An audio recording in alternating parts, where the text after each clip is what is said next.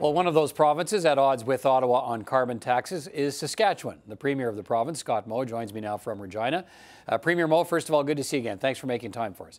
Well, thank you so much, Peter. We appreciate it. The Prime Minister suggests that you are one of those politicians who wants to do less and less about climate change and ignore what's in front of us. What's your reaction to what he's saying?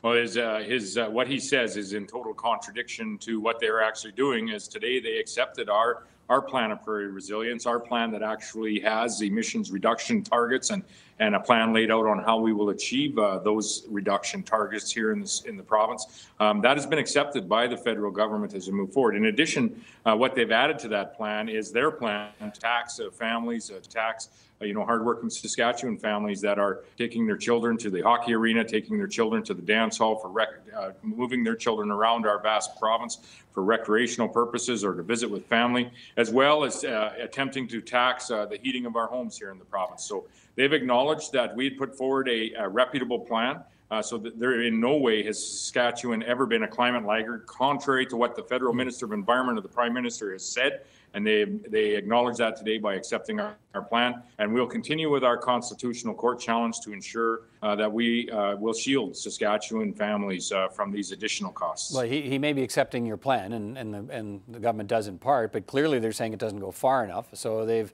added this another layer by imposing the federal plan. What they've added is a tax on Saskatchewan families. Uh, in no way uh, does what they are adding uh, reduce emissions in any way, shape, or form. And that's been proven in other jurisdictions. It's been proven around the world. A carbon tax does not reduce emissions. It moves uh, money around. It's a wealth uh, redistribution tool. that, that has been shown time and time again. That is why it was not part of Saskatchewan's plan. We consulted uh, with those emitters in the province on what was achievable and uh, working very closely through a plan of prairie resilience, which was acknowledged today by the federal government as being an effective way to address climate change in the province of Saskatchewan. And I would put forward it's an effective uh, uh method uh, of, of, consultation with industries across the nation. Okay, when you talk about wealth distribution, I mean, he, he's imposing his plan, the Prime Minister is imposing the federal plan in your province, but what he says he's going to do is give families back on their income tax return, refunds next April, more money than they will spend on the increased energy costs in Saskatchewan. Why is that a bad idea?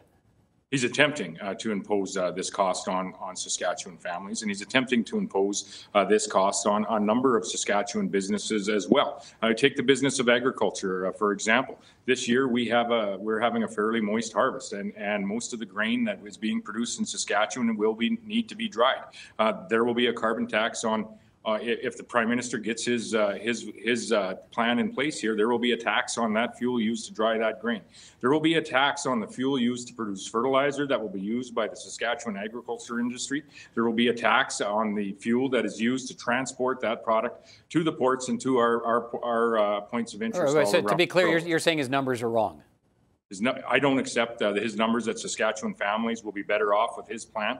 And if you are truly uh, just returning the dollars uh, to Saskatchewan families that they that they are paying, you know, I go back to Premier Wall's comments a, long, a couple of years ago. What's the point? One of, I mean, one of the things. Uh, let me ask you this: one of, one of the things the federal government says about this plan is that look, the idea is to is to uh, you know tax tax energy and, and hopefully change attitudes. And I guess my question is this: if if if the government's right, if the federal government's right, and people will actually get more money back than they're spending, where's the incentive to cut back? Absolutely. This, this, is, this is a flawed plan. This is, not an, this is not a good economic plan. This is not a good environmental plan as it will not reduce emissions. And essentially uh, what this is is a plan uh, to, to buy votes uh, in the lead up to a federal election with your own money. Uh, the government does talk as well about spreading, uh, they believe this will spread money around $445 million over the next five years in rebates from the tax collected on fuel. They say it'll go to hospitals and schools and small and medium sized businesses, colleges, universities, uh, municipalities, indigenous communities uh, that can't pass directly pass taxes on uh, to consumers to recoup the money they're paying. So $445 million to, to help help these other agencies and organizations. Uh, what's wrong with that? Therein lies the challenge. Where's the, where are those dollars coming from? You know, we put forward those dollars are coming from hardworking families across uh, our province in, in this case, and uh, it just simply it doesn't add up that everybody can get more money being than, than is being collected. And if that is the case, then we are going to have pressures on our industry on our industries uh, here in this province, which is has always been our argument uh, from day one. Is uh, this this is an ineffective policy. There are initiatives that are being put forward, in our case in this province, by many of uh, the industries that operate here that have actual uh, emissions reductions, have actual uh, sequestra- sequestration opportunities that are being enhanced. Most notably in our power industry, which is flagged this morning by Minister Goodale as being one of the, the industries that doesn't have a plan. Most certainly not the case. Uh, the SaskPower has a plan to reduce emissions by 40% by the year 2030. That's 10% in, in uh, excess of, of the Canadian plan. So th- these, these types of initiatives need to be acknowledged as they have actual emissions reductions. They actually, uh, um, they actually address uh, what we are supposed to be talking about in this is, is a cleaner environment and, and, and less emissions coming out of our, out of our uh, industries, not taxing hardworking families uh, across, across the province. All right, so um, taxes on uh, these, some of these taxes will apply to, to emitters in your province. You mentioned Sask Power. Uh, you talked about that earlier today, I think. Uh, What, what effect will those, uh, those new charges on Sask Power have on ratepayers in your province? Well, if, if the, if the Prime Minister is successful, and we will be uh, using every tool in our toolbox uh, to ensure that this tax is not imposed on the families in the province. Um, but if he is successful in, uh, in, in uh, enacting this tax on Sask Power, for instance, it means about a billion dollars over the next five years. Uh, this is this is a, a, a, tax on an industry that already uh, has targets of, of, uh, of not only complying uh, with the targets uh, that have been set by Canada, but going in excess of them with a 40% emissions reduction target by 2030. This is an industry that also is adhering to and be having regulations imposed on them by the federal Minister of Environment that are in addition to uh, any imposed uh, tax that we are talking about here today. So we most certainly uh, will be exercising every opportunity that we can, including uh, continuing with our constitutional court challenge to ensure that Saskatchewan families will not have to pay a carbon tax on heating their home, and they will not have to pay a carbon tax at the pumps when they take their children to whatever recreational opportunities they choose. All right, let's finish on this. You mentioned the court challenge. Uh, that that is ongoing. Uh, it, it, would seem the federal government's not uh, not interested in waiting to see how that constitutional challenge turns out. They're going to they're going to look to proceed here. So it sounds like if this this goes the way it's going, uh, what can you do to stop it? There's going to be a tax in place imposed by the federal government before your your court battle gets to court, will there?